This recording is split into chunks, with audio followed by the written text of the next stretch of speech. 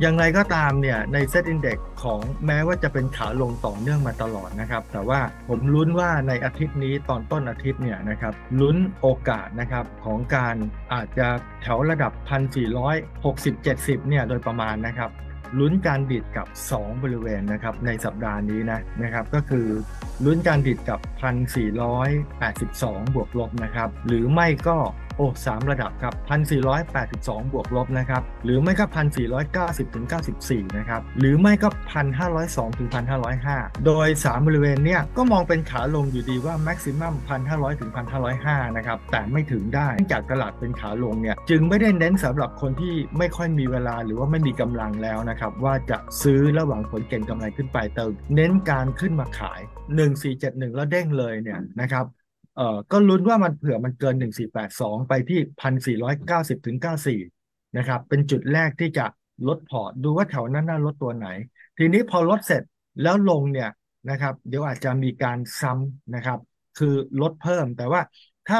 1490 ถึง 1494 แล้ว ลดแล้วไม่ลงมา 1,500 ต้น ตอนนี้ก็จะลดเพิ่มเข้าไปอย่างหนัก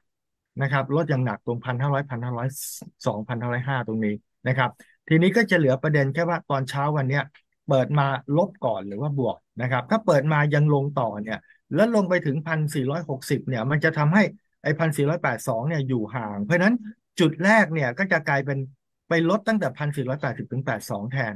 นะครับขึ้นอยู่กับว่าตอนตอนเช้าวันสองวันเนี้ยมันลงไปต่ำระดับไหนครับ โดยคร่าวๆก็คือตรงนี้นะครับ แล้วส่วนอื่นเนี่ยจะไม่แตกต่างจากส่วนที่เคยคุยกันไป เช่นนะครับ การเด้งหลังจากตรงนี้แล้วเนี่ยนะครับ สาเหตุที่ลด ก็ยังคงคิดว่าดัชนีเนี่ยจะลงไปที่พันสี่ร้อยสามสิบบวกลบนะครับ แล้วอาจจะมีเด้งนะครับ แต่ว่าสุดท้ายเนี่ยเด้งเสร็จก็ยังจะลงมาพันสามร้อยแปดสิบถึงพันสี่ร้อยตรงนั้นน่าจะลุ้นการเด้งใหญ่ ๆ หน่อย เช่นเด้งขึ้นมาบวกลบแปดสิบจุดนะครับ เพราะฉะนั้นไอ้ไอ้ตรงพันสี่ร้อยหกสิบเจ็ดสิบตรงนี้เนี่ย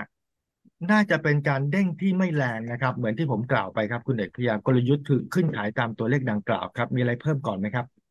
ก็คือหนึ่งมองขาลงอยู่ดีสองแถวนี้อาจจะมีรีบาวแต่ไม่มีนัยสำคัญเทรนยังเป็นขาลงประมาณอย่างนี้ ใช่ครับครับ ประมาณนี้ครับยังยังได้ครับ ต่อได้เลยครับได้ได้ประมาณห้าหกนาทีสามนาทีฮะสามสี่นาทีได้เลยครับ เออเอ๊ะผมว่าผมเตรียมอะไรไม่เป็นไร นะฮะก็คือถ้างั้นขอไปที่ SET fifty นะครับ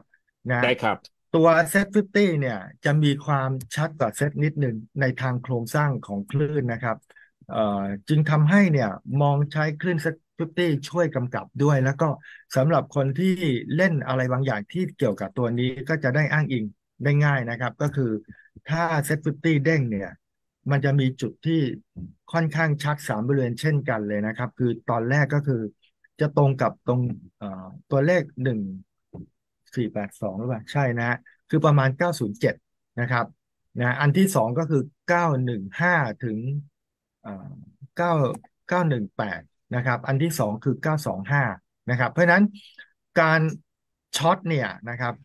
การเขาเรียกว่าการพยายามลดพอร์ตเนี่ยจะเริ่มตั้งแต่จุดแรกนะครับ ซึ่งไม่แน่ใจถ้าเปิดขึ้นนะคือ 907 นะครับ แต่ว่าจุดที่ 2 จะเริ่มต้องทำแล้วคือ 915 ถึง 917 และ 918 นะครับ และจุดของการเสี่ยงเปิดขายได้ซ้ำนะครับ จะอยู่แถว 915 ถึง 918 แล้วก็ 924 925 นะครับ เพราะฉะนั้นเวลาลงเนี่ย ในต้นสัปดาห์เนี่ยยอมรับว่าไม่ชัดนะครับว่าจะเสี่ยงชิงซื้อไหมแต่ที่ชัดหน่อยคือการดั้มขายตามเนี่ยมีโอกาสผิดเยอะนะครับ มีโอกาสผิดเยอะแม้ว่าจะเป็นขาลงก็ตาม เนื่องจากว่า มันลงมาเยอะแล้วมันก็เผื่อมีเด้งเท่านั้นเองนะครับโดยเพราะอย่างยิ่งเลยนะครับ ถ้าหากว่าเผื่อฟุกเฉยๆนะแต่ผมไม่คิดว่าเป็นนะเผื่อต้นอาทิตย์มันไม่ได้เด้งเลย มันลงมาที่ตัวเซ็ตฟิฟตี้ลงมาที่แปดร้อยแปดสิบกว่านะครับ ก็อาจจะเผื่อเด้งได้ดี